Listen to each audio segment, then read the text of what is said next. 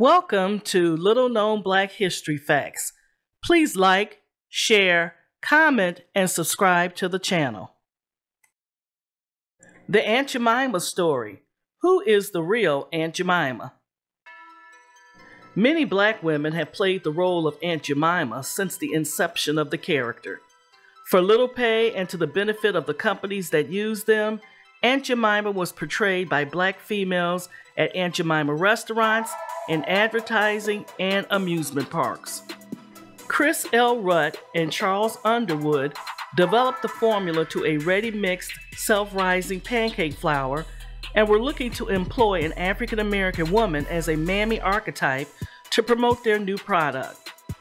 Rutt, one of the company's co founders, got the idea for a name and logo after watching a vaudeville show in which the performer sang a song called Aunt Jemima, wearing an apron, head bandana, and blackface. Aunt Jemima is based on the common enslaved mammy image, a plump black woman wearing a headscarf who is a devoted and submissive servant. Her skin is dark and dewy with a pearly white smile. The term aunt and uncle in this context was a Southern form of address used with older enslaved peoples. The two founders of Aunt Jemima, in need of money, sold the company to the R.T. Davis Milling Company of St. Joseph, Missouri. From there, the company tried to find someone to be a living trademark for the company.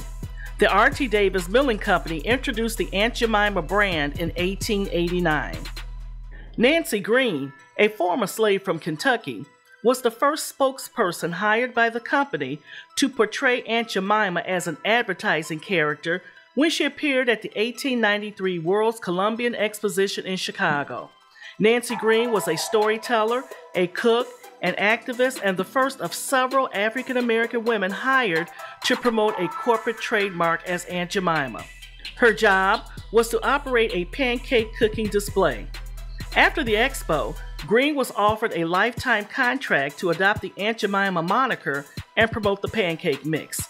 This marked the beginning of a major promotional push by the company that included thousands of personal appearances and Aunt Jemima merchandising. Nancy Green maintained her job with Davis Milling until her death in 1923. She was still working as Aunt Jemima at the time. Green was a huge success, awarded medals and certificates by fair organizers. She went on tour, appearing at countless country fairs, flea markets, food shows, and local grocery stores. Her arrival often heralded by large billboards featuring her image and the caption, As in town, honey. Her career allowed her the financial freedom to become an activist and engage in anti poverty programs. Green was one of the organizers of the Olivet Baptist Church in Chicago. She was one of the first African American missionary workers. Green used her stature as a spokesperson to become a leading advocate against poverty and in favor of equal rights for individuals in Chicago. Green died on August 30th, 1923, at the age of 89 in Chicago when a car collided with a laundry truck and hurtled onto the sidewalk where she was standing. In 1926, the Quaker Oats Company purchased the brand from the Davis Company. Following Green's work as Aunt Jemima, the Quaker Oats Company no longer used a single woman to portray the role. They used different actors, many assigned regionally. However, like Nancy Green, these women were paid to play the role of a smiling, happy Aunt Jemima and to tell stories of the good old plantation days. Although depictions varied over time, they were still portrayed in the common attire and physical features of the Mammy character. Lillian Richard, a native of Folk, Texas, was hired to portray Aunt Jemima in 1925 and remained in the role until she suffered a stroke in 1947. Anna Robinson was hired to play Aunt Jemima at the 1933 Century of Progress Chicago World's Fair. Anna Short Harrington Born in 1897 in Marlboro County, South Carolina, began her career as Aunt Jemima in 1935. Harrington continued to play the role for 14 years. Ethel Harper was Aunt Jemima during the 1950s, in person, in print, and in media. She was the first Aunt Jemima to be depicted on television and the final living person basis for the Aunt Jemima image until it was changed to a composite in the 1960s.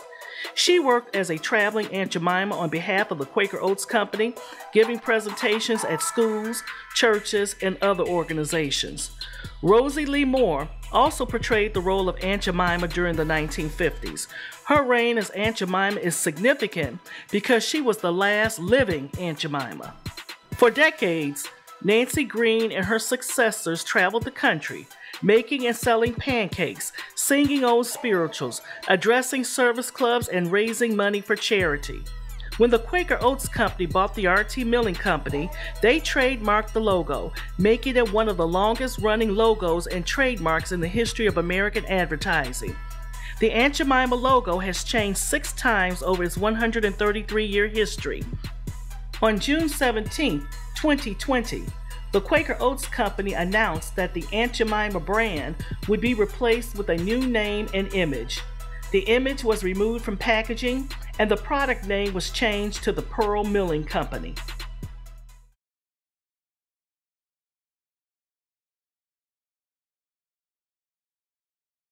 Until next time, if you like little known history facts as I do, please like, share, comment, and subscribe to the channel.